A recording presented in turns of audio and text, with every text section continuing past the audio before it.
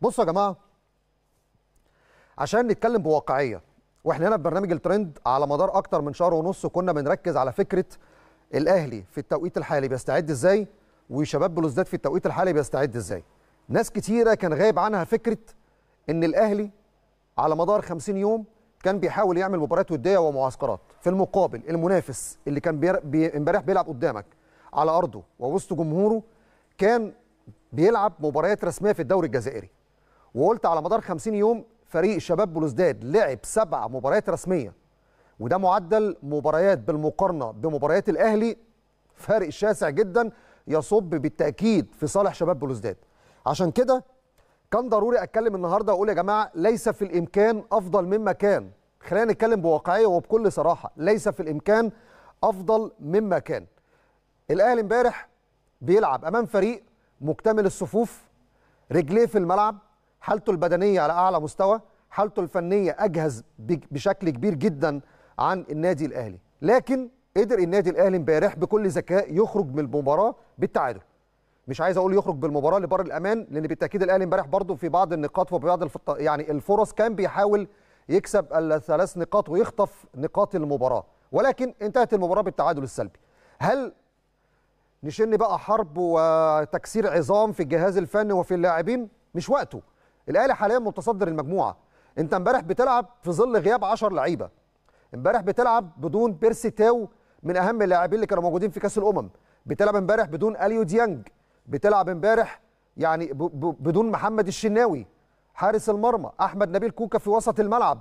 يعني حاجات كتيرة جدا امبارح كانت غايبة عن فريق النادي الأهلي. عشان كده الأهلي أمامه فرصة جيدة جدا في الفترة اللي جاية إنه يتصدر المجموعة. في حال تحقيق نتيجة إيجابية في مباراة ميدياما الغاني الجمعة اللي جاية في كوماسي. أمامه فرصة ذهبية لتصدر المجموعة وده ما حصلش أعتقد من سنوات كتيرة. الأهلي آه كان بيصعد تاني وكان بيحقق اللقب ولكن نتائج الأهلي السنة دي في دوري أبطال إفريقيا أنا مش شايفها مختلفة عن الفترات السابقة. يعني امبارح لما نبص كده على إحصائية الأهلي في أول أربع مباريات في دوري الأبطال الأهلي لم يحقق سوى فوز وحيد وده اتحقق برضه في البطولات السابقة آخر بطولتين ثلاثة والأهلي في النهاية حقق اللقب. بلاش بس فكرة اللي إحنا نجلد الذات يعني جلد الذات زيادة عن اللازم مش طبيعي ولا منطقي. انت على مدار 50 يوم ما بتلعبش مباريات رسمية. على مدار 50 يوم لعيبة كتيرة غايبة عنك. على مدار 50 يوم الجهاز الفني اللعيبة مش تحت ايديه. لعيبة بتلعب في منتخب مصر لعيبة بتلعب في المنتخب الأولمبي لعيبة بتلعب مع تونس ومالي وجنوب إفريقيا. والأدهى من ذلك بعد البطولة ما خلصت بطولة كأس الأمم. انت راجع بتلعب امبارح بدون الشناوي محمود متولي خالد عبد الفتاح اليو ديانج احمد نبيل كوكا بيرسي تاو يعني عدد كبير جدا من اللعيبة. صفقة جديدة جايبها في يناير عشان تدعم الفريق. ما كانتش موجودة زي اللاعب الفلسطيني وسام بو علي. محمد كريستو اللاعب التونسي الشاب اللي لعب في المباريات الودية وظهر بشكل جيد جدا. وكان كولر هيعتمد عليه في هذه الرحلة تحديدا. جات له إصابة وبالتالي غاب عن مباراة شباب بلوزداد. كلها أمور أكيد بتبقى عاكسة. لذلك ليس في الإمكان أفضل مما كان. لكن في جانب إيجابي. وهو جانب متعلق بمصطفى شوبير. مش هطلع أتكلم على فكرة أصل مصطفى شوبير أثبت وجوده. مصطفى شوبير أثبت وجوده ومكانته مع الأهلي من سنتين مش من النهارده. ولكن خلينا كده نتكلم على مصطفى شوبير بموضوعية وبهدوء شوية. دي مباراة امبارح دي كانت أول مباراة وأول مشوار لمصطفى شوبير كحارس أساسي مع النادي الأهلي الفترة اللي جاية.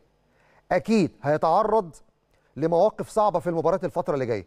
أكيد هيواجه ضغوط أكتر في المباراة الفترة اللي جاية. أنا الحاجة الوحيدة اللي عجباني في شخصية مصطفى إنه هادي لا بينفعل مع الانتقادات ولا بيفرح قوي مع الإشادات. دي نقطة مهمة جدا تتعلق بشخصية مصطفى شوبير. فحجم الإشادات الكبيرة بمصطفى شوبير أنا عارف إن هو هيعرف يتعامل معاها لأنه في توقيت معين هيبقى فيه انتقادات كبيرة عليه. خلونا نحافظ على الحارس الأساسي للنادي الأهلي الثلاث أربع شهور اللي جاية. امبارح عمل مباراة كبيرة. امبارح تعرض لمواقف كتيرة في المباراة. أثبتت بما لا داعي مجال للشك إن مركز حراسة المرمى في النادي الأهلي ما فيهوش أي مشكلة. ولما الأهلي كان بيفكر في تدعيم هذا المركز كان بيفكر في التدعيم نتيجة النقص اللي هيكون موجود في مركز حراسة المرمى الفترة اللي جاية. مش لفكرة إن مصطفى شوبير إحنا مش واثقين في إمكانياته. اطلاقا. ما بتتحسبش كده ولا اتحسبت كده. هي بتتحسب إن الأهلي الفترة اللي جاية مقبل على مباريات كتيره في الدوري والكاس وفي بطولة إفريقيا وبالتالي أنت عندك ثلاث حراس مرمى. مصطفى شوبير حمزة علاء مصطفى مخلوف. منهم حارس من شهر خمسة هيتم الاستدعاء ليه للمنتخب الأولمبي في مباريات كتيرة ودية. فبالتالي مش هيكون عندك إلا مصطفى شوبير ومصطفى مخلوف. عشان كده دعمت بحازم جمال من مواليد 2005 عشان كده جبت محمود الزنفولي في القيد المحلي عشان يكون موجود معاك في مباريات الدوري. وكانت في محاولات لقيده في القائمة الإفريقية في الأيام الأخيرة. ولكن لسه إحنا بنتابع مع الاتحاد الإفريقي القرار الرسمي رغم إن الأمور بالتأكيد صعبة جدا. ولكن كل التحية والتقدير لمصطفى شوبير على شخصيته المتزنة على أدائه المتميز بالأمس على إنه يعني رفع راس كل واحد كان بيقول ثقتنا فيك كبيرة مصطفى في الفترة اللي جاية. النهارده حتى سؤالنا لما طرحناه شايفين مين أفضل لاعب ظهر في مباراة امبارح؟ بالتأكيد بقى في الجزء الأخير هنستعرض يعني تعليقاتكم على هذا السؤال ونشوف من وجهة نظركم مين أفضل لاعب ظهر أو لعيبة بشكل عام ظهرت في مباراة امبارح. طيب كل الإحصائيات وكل اللي حصل في مباراة امبارح أكيد يعني مش بتصب في مصلحة النادي الأهلي لأن الأهلي زي ما قلت لحضراتكم 50 يوم بعيد عن المباريات الرسمية. شباب بلوزداد لعب سبع مباريات رسمية. فرق شاسع كبير جدا يا جماعة. وارجعوا كده بالذاكرة ورا شوية. لما كان الأهلي بيعمل أداء وبيوصل لل top form بتاعه مع كأس العالم للأندية بيجي مع استئناف المشوار الإفريقي في شهر يناير وفبراير بيبدأ ال curve ينزل شوية وبياخد وقت على ما يبدأ الأهلي يستعيد مكانته من جديد. عشان كده امبارح التعادل أنا شايفه كويس مش وحش. اولا حافظت على صدارة المجموعة ثانيا ما خسرتش ثانيا أنت لسه حسابات المجموعة في إيدك أنت مش في إيد أي منافس. لازم نفكر بالشكل ده محدش ياخدكم في سكة جلد الذات. دي نقطة مهمة جدا كنت عايز أركز عليها النهارده وأنا بتكلم على مباراة الأهلي وشباب بلوزداد